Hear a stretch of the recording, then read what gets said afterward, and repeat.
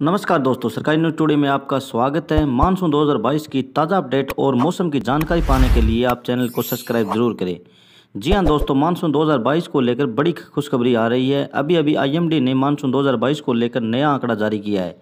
जी हाँ, आपको बता दें कि किस राज्य में कितनी बारिश व कौन से राज्य में तूफ़ान आएगा? आईएमडी ने नई लिस्ट बना ली है। जी हाँ दोस्तों, आप मौसम की पूरी जानकारी पाने के लिए वीडियो को अंत तक देखें। जी हाँ दोस्तों, पिछले दो दिनों से हिमाचल प्रदेश के सभी हिस्सों में गर्म हवाएँ देखने को मिल रही है। इसी कारण यहाँ अधिकतर हिस्सों में तापमान में वृद्धि हो गई है। मौसम विभाग के अनुसार अगले दो दिनों में यहाँ मौसम में बदलाव देखने को मिलेगा और गर्ज के साथ भयंकर बारिश होने की संभावना है। बारिश के चलते हुए प्रदेश वासियों को गर्मी में थोड़ी राहत मिलने की संभावना है। आईएमडी ने छब्बीस अप्रैल के लिए येलो अलर्ट जारी किया है। मौसम विभाग के अनुसार निचले हिस्सों के साथ सभी जगहों पर बारिश होने की संभावना जताई जा रही है। जी हाँ दोस्तों, सत्ताईस अप्रैल के बाद मौसम में ज़्यादा बदलाव नहीं देखने को मिलेगा और गर्मी बढ़ने की संभावनाएँ जताई जा रही है। जी हाँ दोस्तों, भारतीय मौसम विभाग आई ने अगले दो दिनों में गर्मी बढ़ने की संभावना जताई है और भयंकर तूफ़ान आने की भी संभावना है। जी हाँ दोस्तों, आपको बता दें, मध्य प्रदेश, बिहार और उत्तर प्रदेश में आने वाले दिनों में तापमान बढ़ने की संभावना है और अगले दो दिनों में दिल्ली में मौसम में भी थोड़ा बदलाव देखने को मिल सकता है।